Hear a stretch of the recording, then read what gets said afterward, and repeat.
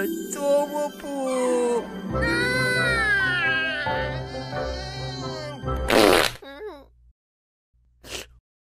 will take him! Oh, look at him already making new friends. Here it is, son. Your home.